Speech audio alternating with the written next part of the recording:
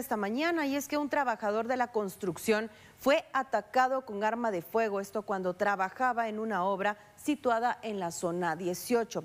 Lamentablemente murió en el lugar. Una persona fallecida es el saldo de un ataque armado registrado dentro de una obra que se construía dentro de un residencial ubicado en la colonia Canaán, zona 18.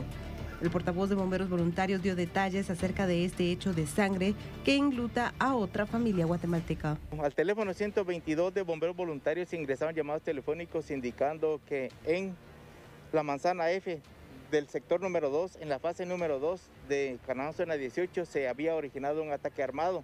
De inmediato, técnicos en, en, urgencias médicas de la ambulancia 1320 procedieron a evaluar signos vitales a un hombre con ausencia de los mismos. Esto por las heridas de bala que presenta, por lo que el oficial al mando procedió a informar a las autoridades. A la escena se hicieron presentes familiares y personas que conocían al trabajador y lo han identificado como Elvis Gerardo López Culajay, de 41 años de edad, Lourdes. Autoridades investigan el móvil del crimen. Familiares de la víctima indicaron que no tenía amenazas.